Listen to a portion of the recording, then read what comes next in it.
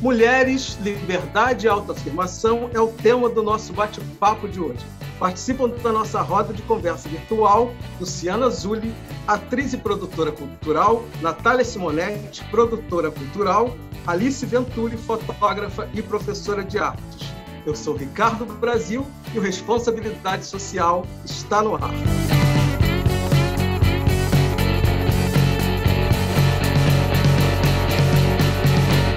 Meninas, prazer enorme receber vocês aqui. É, eu estou sabendo né, que vocês estão fazendo essa discussão, fazendo essa reflexão acerca da liberdade e da autoafirmação feminina através de um projeto incrível que é o Narrando Mulheres. Eu queria que vocês falassem para mim, né, de uma maneira bem objetiva, o que é exatamente o Narrando Mulheres. Bom, é um prazer estar aqui. É, muito obrigada pelo convite. É, eu vou falar um pouquinho sobre o Narrando Mulheres, sobre a, a, a ideia do projeto, né? E aí a Natália e a Alice podem falar um pouquinho também sobre como cada uma foi pegando essa ideia. Assim, o Narrando Mulheres é uma série de narrativa oral, de, contador, de contação de histórias, digamos assim, sobre contos femininos, em que nós reunimos a narrativa oral com a fotografia. Então, a ideia era é, convidar narradoras que trouxessem contos com protagonistas femininas nesses contos e convidamos personalidades femininas do estado do Rio de Janeiro, mulheres que se destacam no estado em suas áreas profissionais, e nós convidamos essas mulheres para serem fotografadas como as personagens dos contos. Então, primeiro, né, a gente, que foi um desafio, porque a gente não sabia até que ponto né, essas mulheres iam topar essa aventura, e foi uma alegria enorme, porque elas toparam com muita alegria. É, então, elas se, elas primeiro eram fotografadas, digamos assim, com as suas roupas mesmo cotidianas, das suas áreas de trabalho, e pouco a pouco elas iam sendo caracterizadas como as personagens do conto, iam assumindo o protagonismo da história, assim como elas são protagonistas nas suas vidas pessoais. Essa era a ideia base do projeto. É, e é importante dizer também, antes de passar para a Alice, é, que esse projeto ele foi viabilizado pela Lei Aldir Blanc, que, são, que é um edital de cultura né, que o governo do estado lançou justamente para fomentar a, a cultura em tempos de pandemia.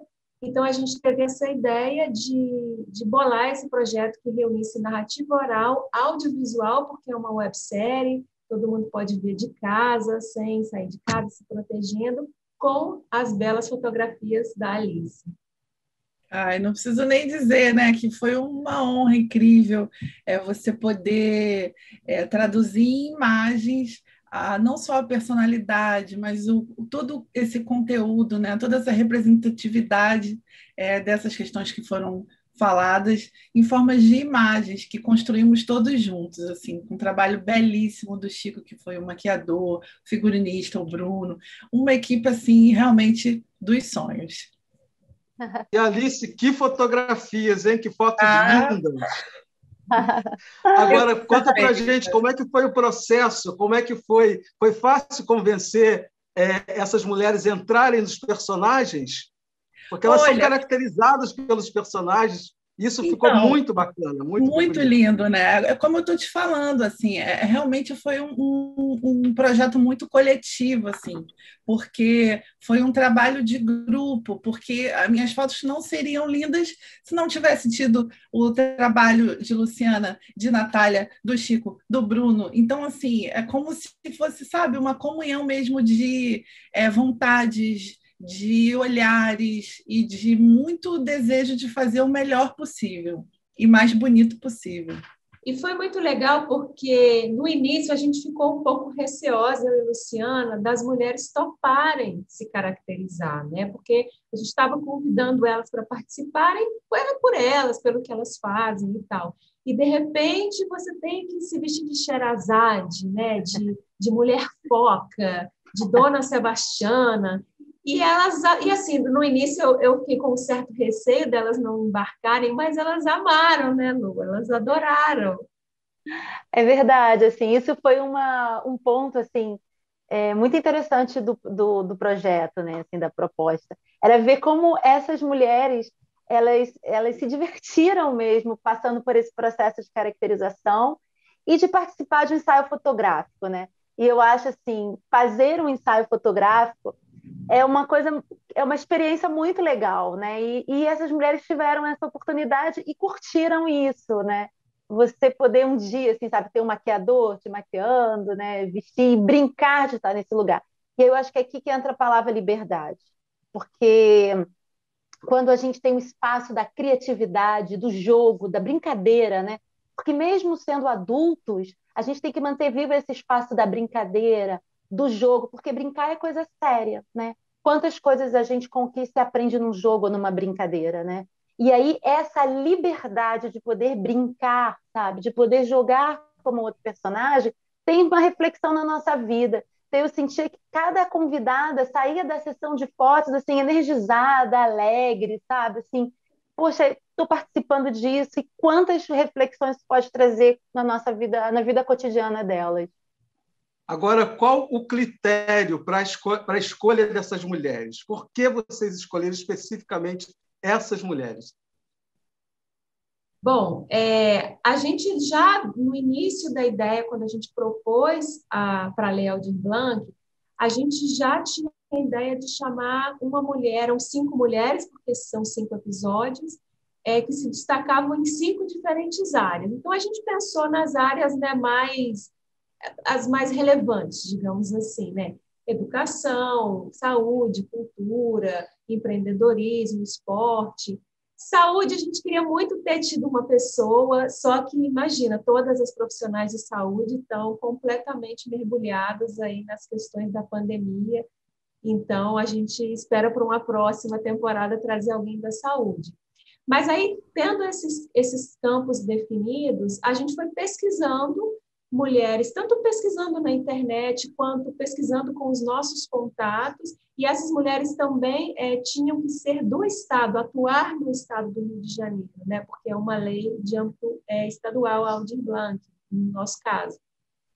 Então, a gente foi procurando um pouco, fazendo pesquisas na internet e falando com pessoas que a gente conhecia, é, por exemplo, a Mariana Brochado, que é atleta, né? A gente chegou até ela através de um contato do nosso visagista, que é o Francisco Leite, com uma, amiga dele que trabalha na área do esporte. Então, a gente foi chegando, é, tanto por, por indicações de pessoas, ah, eu conheço uma mulher muito legal da área da educação, e a fulana, e a Joana e tal, e a gente foi atrás da Joana, quanto a gente mesmo também pesquisou, por exemplo, a Maria Isabel, da Cachaça Maria Isabel, que está no episódio 4, a Luciana lembrou: ah, eu tomei essa cachaça há muitos anos, e quem é a dona da cachaça é uma mulher em Paraty.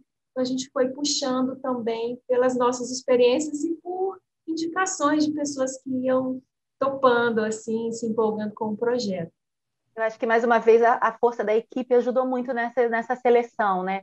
A equipe foi abraçando também, ajudando a gente nessas escolhas, né? Conforme o projeto foi sendo concretizado. Ou seja, é, essas personagens elas foram surgindo no decorrer do processo, né? Foi uma coisa orgânica, né? Uma coisa foi puxando a outra, foi levando a outra. Foi, totalmente. A gente tinha uma Isso é ideia é... inicial, mas o próprio processo foi contribuindo. Até porque a Lei Aldir, Aldir Blanc previa 90 dias para a realização do projeto. A gente só podia começar a executar a partir do recebimento do dinheiro. E aí dava o start e era correria, né? E aí a gente, as ideias tinham que ganhar forma em 90 dias. Sobre as histórias dessas mulheres, né? O que mais chamou atenção em vocês nas histórias dessas mulheres, o que mais mobilizou que vocês chegaram à conclusão essa história precisa ser contada, né? essa mulher precisa ser é, precisa ter protagonismo, isso que ela faz. Essa mulher precisa vir para o primeiro plano. O que foi que despertou em vocês para que cada uma dessas mulheres estivesse nesse lugar que vocês as colocam nessa websérie? Eu acho que, assim como a, a, a, proposta mesmo da série, né? o protagonismo que elas exercem em cada função. Então, por exemplo, a Elisa Oscar, que é professora da rede pública do município do Rio de Janeiro, professora da, do, do ensino básico, né, da educação infantil, que começou a desenvolver, dentro do trabalho dela como educadora, uma pesquisa sobre o combate ao racismo nas escolas públicas, nas escolas municipais. Então, ela começou a buscar formação na área, ela começou a desenvolver um trabalho e ela começou a se destacar dentro da, da CRE, né, da Coordenadoria Regional de Educação, e agora ela acabou de assumir a gerência é, dentro da Secretaria de Educação do Rio de Janeiro, é, um processo, um projeto que vai, vai atuar nisso, né, contra o racismo nas escolas públicas e também para que a lei sobre a cultura afro-brasileira seja realmente aplicada na escola pública, né, haja uh, uma, uma, um combate ao preconceito, né. Então, ela foi desenvolvendo o trabalho dela como professora esse destaque. Quando eu, eu fui professora da rede do município, antes de me dedicar ao teatro, quando eu fui buscar no município informações sobre que professora estava se destacando, rapidamente ela começou a ser lembrada pelas colegas. Então, eu acho que é essas mulheres que vão começando dentro do trabalho delas a, a, a vencer barreiras, né? como a, a Luciana Novaes, né? que após o tiro na Estácio, ela começa a, a, um processo de como é viver essa vida daqui para frente, né? Tetraplégico, como é a vida daqui para frente, o que, que eu posso daqui para frente. E ela, desse daqui para frente, levou ela a ser vereadora da cidade do Rio de Janeiro, né? A Maria Isabel, nas suas escolhas como produtora de uma cachaça, né? A partir de um, de um espaço, de um sítio que ela, que ela consegue conquistar, ela resolve retomar uma tradição de família e ela quer produzir do jeito dela plantando a cana, né? Tudo que ela produz é feito dentro do próprio sítio, do plantio da cana, e ela faz a própria cachaça. Então, acho que essas mulheres foram recebendo destaques por isso, sabe? Dona Candê da Mangueira, né? como ela foi se destacando como artista dentro da própria escola de samba. Então, é, como essas mulheres foram dentro do seu espaço mesmo, né? dentro do local onde elas estão, como elas foram buscando crescer e fazer suas próprias escolhas, né? conseguir fazer suas escolhas e atingir o entorno com suas escolhas, modificar o entorno com suas escolhas.